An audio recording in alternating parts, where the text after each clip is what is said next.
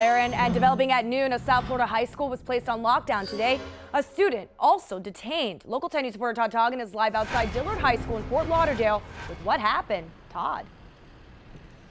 Well, everything is back to normal now. Students are inside their classrooms. Uh, Dillard High, by the way, their campus, they share it with a middle school, uh, and that is where the student went. He went to that middle school. We did see a lot of parents out here uh, picking up their kids early and taking them home after that code red was lifted.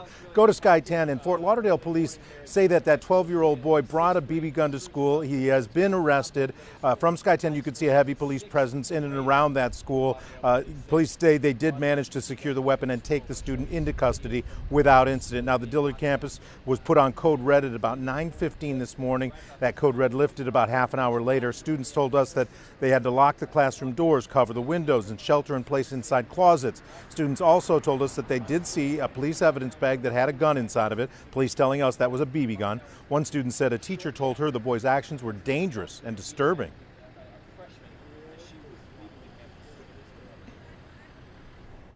All that my teacher said is she said that there was a student in the psychiatrist's office who had a BB gun held to the psychiatrist's head and he pulled the trigger but it wasn't loaded. So many things racing through my mind. What's going on? Where is she? Who who's there? Like they we had no information, just code red, lockdown. That was it. You taking her home? Yeah, we're going to go home. That uh, mother and her daughter very shaken up, and they weren't the only ones. As I mentioned, we did see several others going home for the day. Uh, police do say that they did make an arrest in this case. That boy is in custody right now. Of course, we hope to have more information both on air and online on local10.com. For now, at Dillard High School, Todd Tongen, Local 10 News.